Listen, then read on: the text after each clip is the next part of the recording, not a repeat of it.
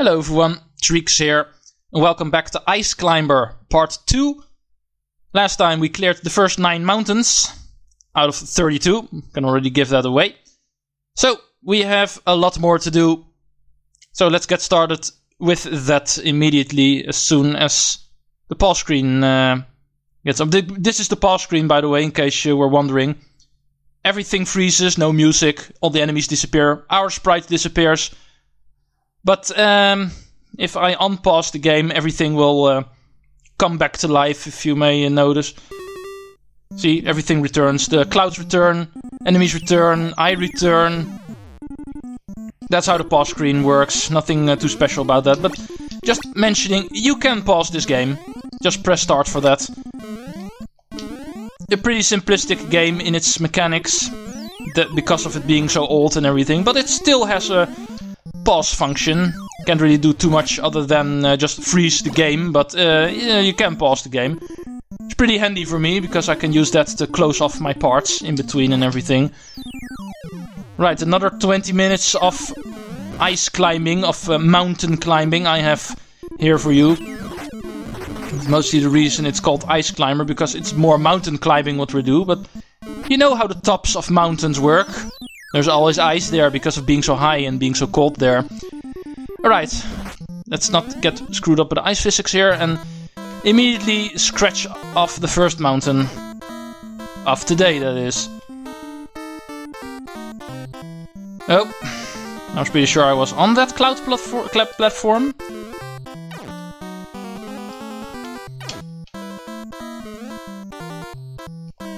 Really like these uh, musics. It's actually also part of um, the Ice Climber stage in uh, Melee, of course. Oh, dang it. Not that they really had that much music to choose from, because once again, this is the only game that ever released in the Ice Climber series. And therefore you might even say it really is not really a series.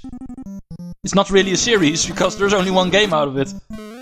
But because of it being part of Smash and uh, every IP that is in Smash I always consider a series, even though some of them are one part or one game, some of them two, some of them three. There are a lot more that are not really that big of a deal. But this one is pretty remarkable because of it being so very old. And in all this time, Nintendo never came to the idea of, of uh, hey, let's try a mo more modernized formula of Ice Climber. Because I think, because platformers are still a thing, even arcade platformers are still a thing, because on occasion you can still find them here and there. Especially with uh, the coming of um, indies and uh, third parties and everything. It would not be uh, an unthinkable idea of just modernizing the Ice Climber formula and trying that again to at least say, hey, Ice Climber is a part of Smash and therefore is a noteworthy IP for Nintendo, you can say. Let's just, uh, oops, by the way. Let's just uh, give them another installment in the series. That I'm pretty sure I would have done that by now. I can understand if this would have been a loose game for eternity, but they did bother to give it a place in Smash. And never really took them out anymore. Because the ice, the ice climbers were absent in Smash 4. But they had a different reason for that. It was not like, eh, Ice Climbers not really an IP worthy of being in Smash and uh, let's just take them out again. They no, they they um, because of Smash 4 being a duo. Come on, come on! I'm getting nowhere fast here. there we go. But because of uh, stupid conveyor belt platforms, are really tripping me up. There we go. Right, let's finish my story. Because uh, Ice, uh, because of Super Smash Bros. 4 being a duo release on the 3DS and the Wii U, and they ha were having a lot of trouble getting the Ice Climbers, which are a duo character in Smash, as you may know. Popo and Nana work together there, unlike here, where it only happens in the two-player mode. The second character then controls Nana. Which looks exactly the same like Popo, just in pink, because she's a girl and everything. But in Smash, they are always uh, together. And on the 3DS, because of limited memory space, they had a lot of trouble getting that to work, so they decided to drop them entirely. That is mostly... Ah, dang it. Fell right on top of that guy. But still, I've got my lives. I could not turn around because of the conveyor belt. Okay, I'm losing lives fast now. Even fell down again. Come on, that's not game over here. almost at the top. yeah, but, uh, other than that, they were always present. They always thought the IP Ice Climber was worthy enough of being in Smash. And if they go for that length, I think it wouldn't be unthinkable to just say, give them a new game. You can even change it up entirely. Look what they did with Kick Icarus, Kid Icarus, for instance. Kid Icarus, also a very old platformer formula. Of course, not comparable to this, but still a platformer, platformer shooter, kind of. Kind of the same deal with uh, Kid Icarus of Myth and Monsters for the Game Boy. Basically the same kind of game. But for that game also, for years, nothing happened to that IP until they decided to put Kid Icarus in Smash as well, since Super Smash Bros. Brawl. And uh, eventually they thought, hey, let's give them a new game, and Kid Icarus Uprising became a thing. But that's a totally different kind of game compared to the first two. Kid Icarus Uprising is absolutely nothing like those first two games. And you can say, if you can't really think of something to modernize the Ice Climber formula, you can also always throw it in that kind of way. Do it in the Kid Icarus way. Make it a completely different kind of game. As long as they get a new installment. Uh, not something that they can't do, I think, so... But still, it is not a thing, at least not yet. You may never know what the future brings, but I don't think it's very likely that we'll see that happen. So it's a little bit more likely that Ice Climber will forever be the only installment installment in the quote-unquote Ice Climber series. Still pretty fun platformer to do. It's challenging enough to uh, say that I can uh, definitely entertain myself with this. I am uh, definitely uh, platformer gamer enough to see that this game deserves its praise, especially if you look at the time when it came. 1984. Compare 1984 to what you have now. Undoable.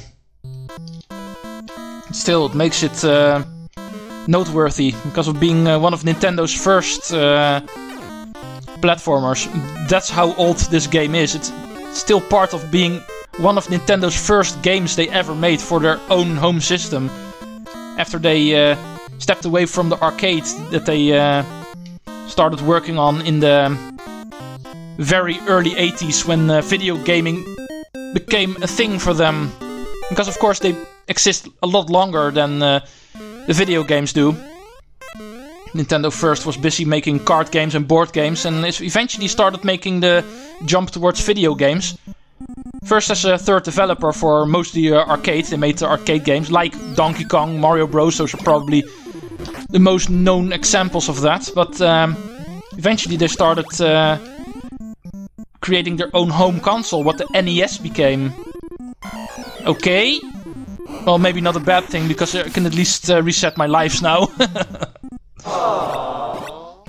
not necessarily a bad thing if you uh, game over very early on in the mountain. Because you don't really have to do anything over again. Alright, let's get back in again. Oh, one thing of note, you may no notice that uh, all the foods we're collecting in the bonus stages. They start from eggplant and they become cabbages and um, they're, they're always vegetables by the way, but they actually shift depending on how many you have gotten. You always start with the eggplant, even now, even though I'm jumping in mountain 14, but the game treats it as, as being the first mountain we're climbing because of us just starting the game officially, because we just game over it, so our last game ended. Therefore, this is officially the first mountain we're doing, and the first bonus vegetable we're getting is eggplants. And that'll always be the first one, and whenever- come on! and whenever you um, clear with the eggplants, the next vegetable that will come up will be a different one. I'm not really too sure about the order, I never really noticed uh, or registered on in my memory what uh, the exact order is, but you can see there's always a set order of uh, the vegetables appearing that you are collecting in these bonus stages. And it's not, not just aesthetic-wise, because there's actually a difference in the number of points you get for them. The further you get in your uh, vegetables, the higher the point value, value you get for them, I believe. Once again, I could be wrong about that, because I usually don't care for the score, so I also not paying too much attention to that, but I'm pretty sure uh, you can see the eggplants are worth 300 points apiece. Right now, I'm pretty sure that uh, later vegetables become worth more bonus points. So there's actually uh, an extra reward for clearing multiple levels in a row without game overing. Because game overing will reset reset your vegetables again, making you start with the eggplants again, which is always the first one. But we'll see that the moment I clear more stages. Right now, I first need to make sure I don't game over, because otherwise there will not be anything to see about that.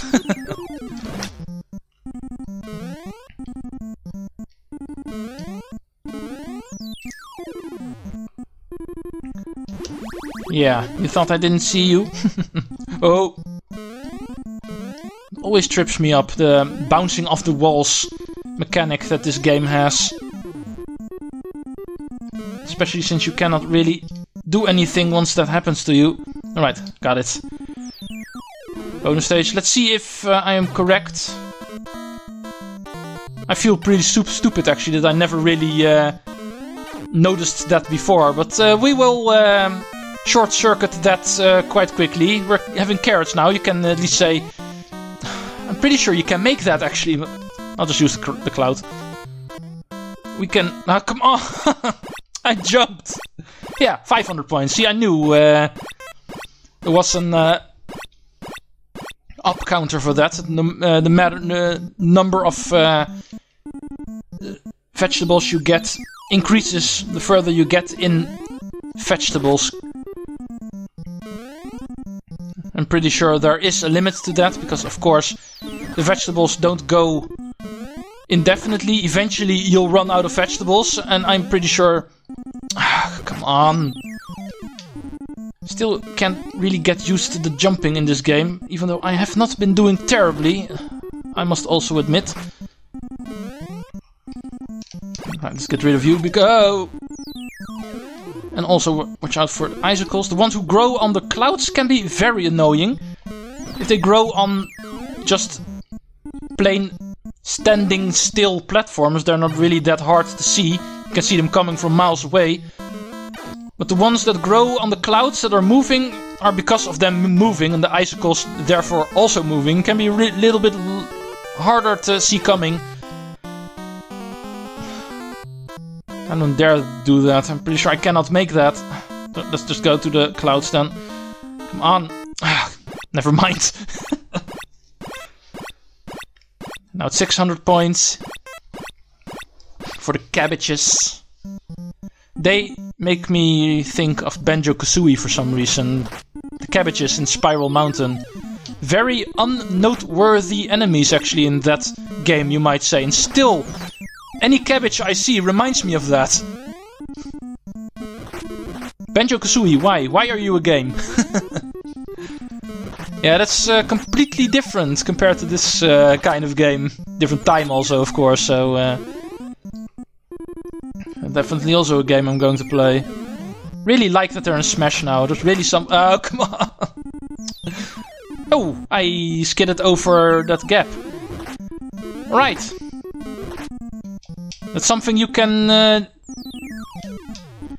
also note for this game, apparently when you're still in your invincibility frames because of just respawning after dying, you might have noticed if you respawn after dying, you have a moment of invincibility frames where you are uh, flashing, where you're blinking a little bit, where you are immune to enemies for a couple of moments. That's a pretty normal thing in gaming, invincibility frames.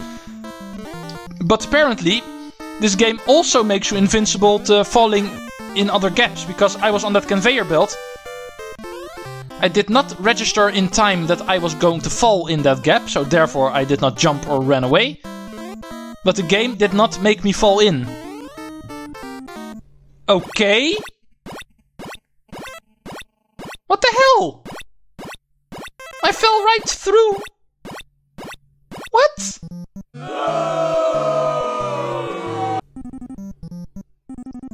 This game is bugged. Nintendo, give us an update. I want to play Ice Climber version 1.0.1. This game needs a bug fix. that would have been a thing if 1980s game would uh, have uh, updates. you switch on your NES and there's like, the download has started. This game has been updated. Wouldn't that be a nice thing? An NES with Wi-Fi. Too bad. It's actually pretty, uh...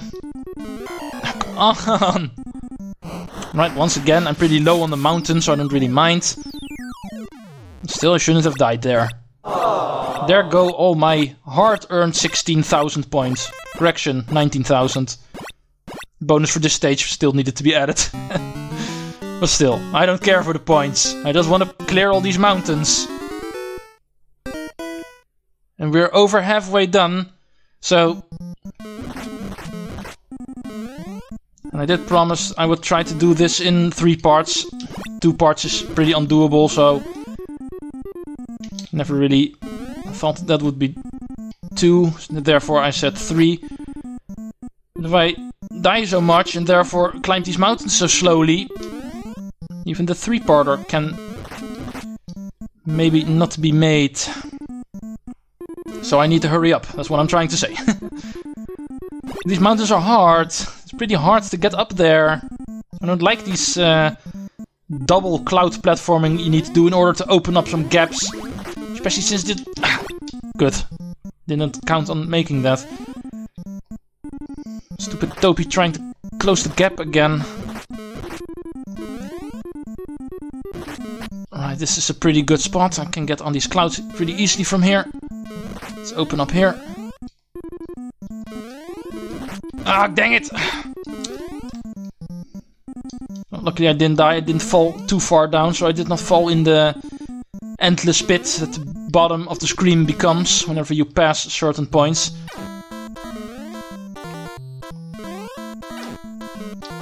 Ah, come on.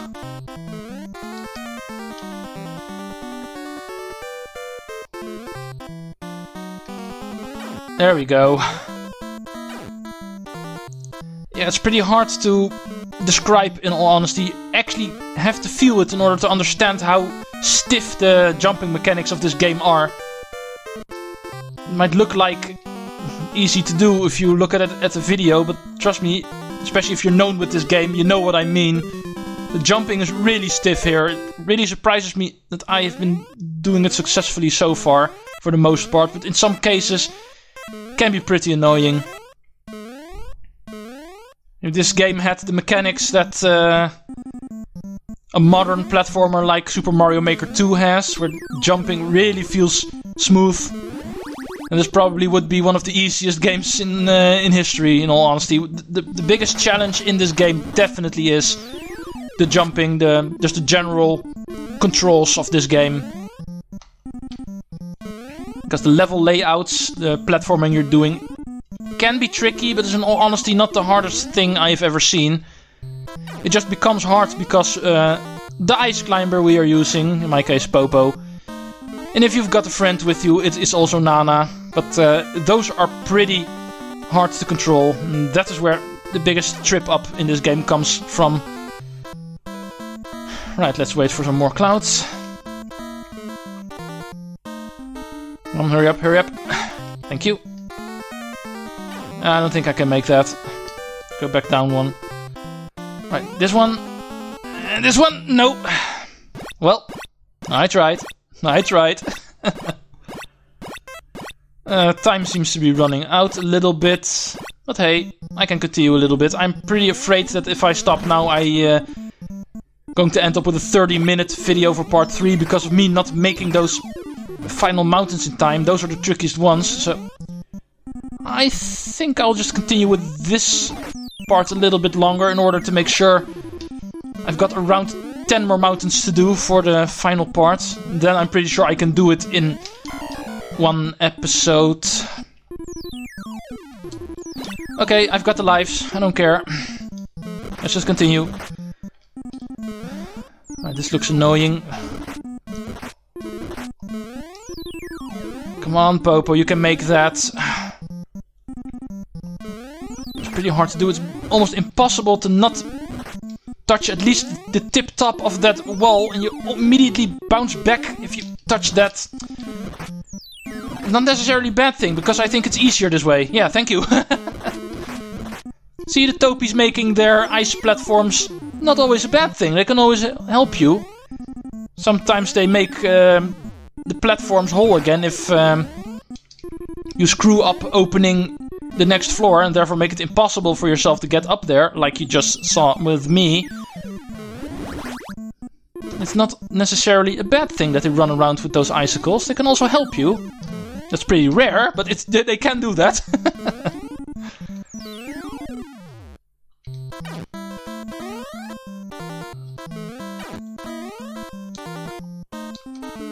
Correct me if I'm wrong, but I believe the cabbage enemy from Banjo-Kazooie is called Cobble Wobble or something.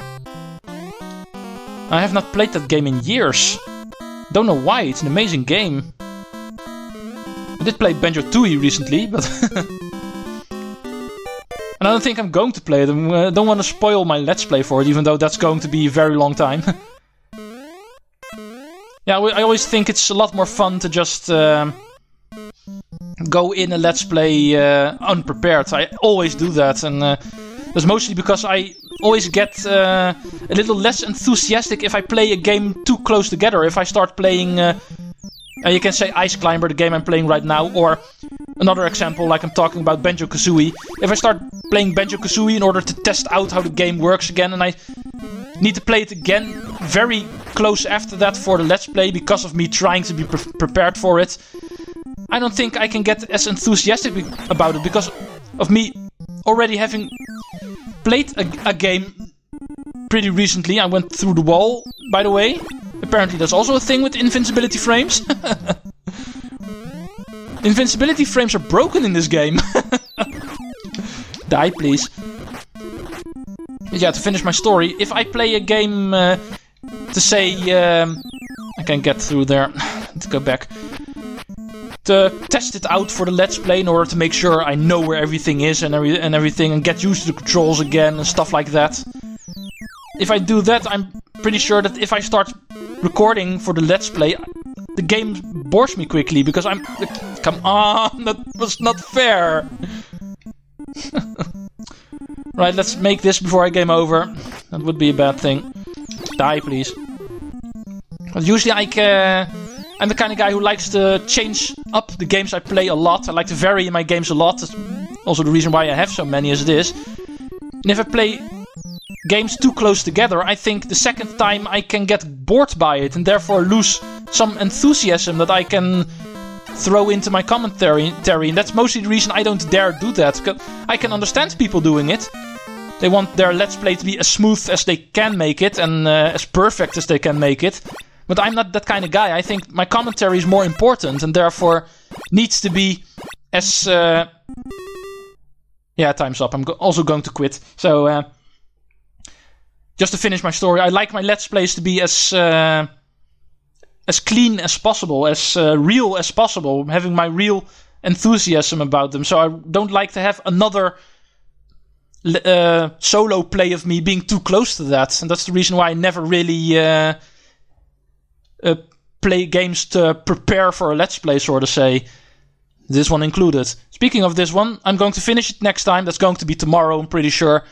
My Sunday is free, so I can put another ice climber there. The final few mountains are going to be cleared then.